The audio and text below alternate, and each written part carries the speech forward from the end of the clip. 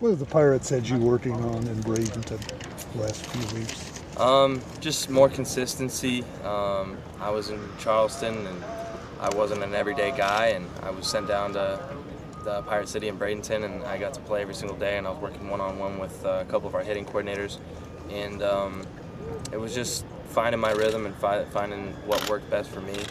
And uh, I felt like I got a lot of good work in, and uh, ready to prove it out here in Morgantown. Well, so I think you felt like you were maybe trying to do too much, maybe trying to hit a home run every at bat. Yeah. Did you feel that way too? You could say that. Um, definitely, it was just I um, I was out there and I would I would try and press a little bit too much, and I, I just wanted to, to succeed a little bit more uh, than was physically possible. You know, you can't get four hits in one at bat, so um, it was it was a grounding experience, and uh, I think I got my feet my feet going in the right direction, and uh, I'm looking forward to be here. So.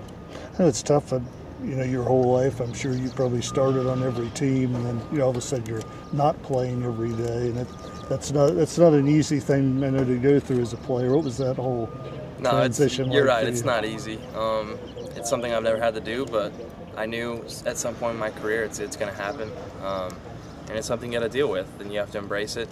Um, it's a big thing in the Pirates organization is, is uh, embracing your role, and I think that's something that um, I've had to learn, and I'm still learning to do, as long with everyone else in, in the organization. And um, it's definitely one of the most important things. You have to embrace whatever role you're given. You sort of take it upon yourself to be a leader for this team. You and the other guys who were here last year. Yeah, absolutely. I mean, we got here. We, we know the way around uh, around the town, around the ballpark.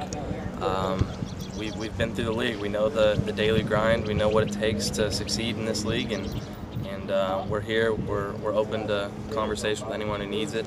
Um, we're not going to be pushy or anything like that. Not the I'm the captain, you're the new guy. Nothing like that at all. But um, we're here to help, and anything that the new guys need, or uh, we're, we're glad to provide them.